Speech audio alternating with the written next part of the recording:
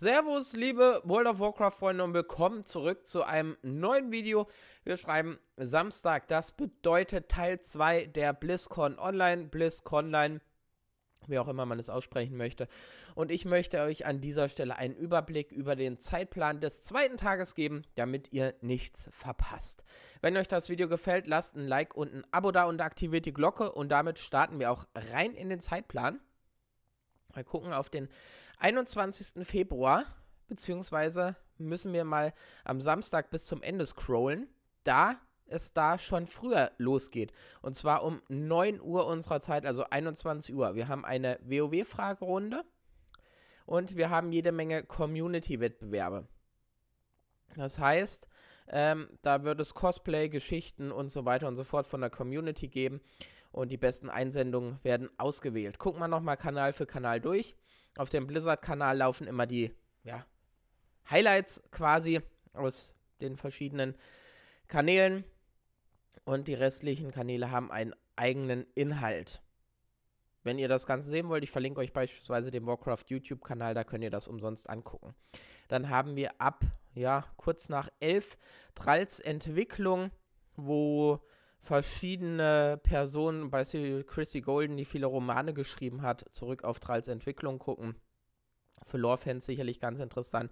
Bei Hearthstone haben wir auch zu Beginn um neun eine Fragerunde, gucken uns dann äh, an, anhand von einer Künstlerin, wie beispielsweise die Reno Jackson-Karte entstanden ist. Dann Community-Wettbewerbe, das bleibt gleich. Hier haben wir einen Gastwirt Doubles. Okay. Da haben wir also, setzt euch zu Terence Stone, der Stimme des Gastwirts, ans Feuer und hört euch an, wie die Hearthstone-Community seine Sprüche nachahmt. Mhm. Und dann haben wir noch einen Streamer-Showdown um 10 nach 11, wo viele Streamer gegeneinander antreten in dem Spiel. Bei Diablo 3 haben wir auch eine Fragerunde, Community-Wettbewerbe, man kennt es, ab kurz nach 11 Künstler bei der Arbeit, die Schwarmmutter in Diablo, wo wir Teams des oder Teile des Künstlerteams von Diablo über die Schulter blicken, wie sie Bossmonster entwerfen. Bei Overwatch gibt es die Overwatch League, Schock gegen den Rest der Welt. San Francisco, Francisco Shock nehmen es mit einem Dream Team aus Profispielern, Streamern, Community-Persönlichkeiten und Überraschungsgästen auf. Okay, das klingt ganz cool. Und dazu haben wir noch einen Workshop Schöpfung der Community im Workshop. Okay, auch das klingt ganz interessant.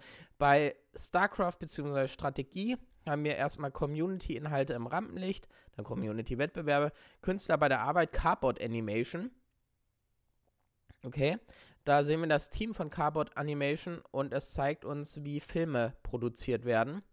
Hat jetzt mit Strategie nicht so viel zu tun, aber gut, lassen wir uns das mal dahingestellt. Und dann gehen wir in die Nacht rein, nach 12 Uhr. Dann haben wir hier eine Diablo-Kampagne von Critical Role. Geht von kurz nach 11 bis 20 nach 1. Critical Role veranstaltet ein besonderes Diablo-Abenteuer, das eine Truppe von Kriegern in die Tiefen unter den Ruinen von Alt-Tristram führt. Schauen wir mal, was das wird. WoW, Tralls Entwicklung geht da noch weiter. Danach haben wir der Sound von World of Warcraft Shadowlands. Soundteam gibt Einblicke. Und dann haben wir die Kochecke wo eine Profiköchin Gerichte zubereitet, die auf Zutaten und so weiter aus Azeroth basieren. Das finde ich ganz interessant. Bei Hearthstone geht der Streamer-Showdown bis kurz vor 1. Und wir haben noch ein Panel Ratschläge von Bob, dem Braumeister. Was haben wir danach? Zurück zu den Anfängen, die ersten Jahre von Blizzard. Das ist eine Wiederholung vom Vortag. Diablo 3 auch hier Künstler bei der Arbeit. Geht noch weiter. Danach gibt es einen zweiten Teil um 20 nach 12. Die Overwatch League beginnt um 10 nach 12, geht bis 20 nach 1 und davor haben wir weiter noch den Panel Schöpfung der Community im Workshop. Strategie, selbes Spiel. Die vorherige ja, Aktivität geht weiter. Danach haben wir das Blizzard Atelier Tra Tracer. Wird gezeigt, wie Tracer entstanden ist. Plus Roadhog im Anschluss. Und auf jedem Kanal haben wir von 20 nach 1 bis halb 2 die Zusammenfassung des Tages.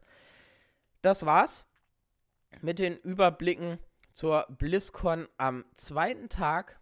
Sucht euch raus, was euch gefällt, guckt es euch an, ist komplett umsonst, beziehungsweise eher kostenlos. Ähm, ich wünsche euch, falls ihr das macht, ganz viel Spaß dabei. Zusammenfassung zu den interessantesten WoW-Inhalten. Da steht vor allem der Tag 1 im Vordergrund, denn so Kochsachen und so weiter interessieren jetzt eher weniger. Es interessiert uns, was kommt vielleicht bei der Fragerunde noch raus und was erwartet uns in der Zukunft. Die gibt es dann frühestens ab Sonntagabend, da ich vorher nicht da bin.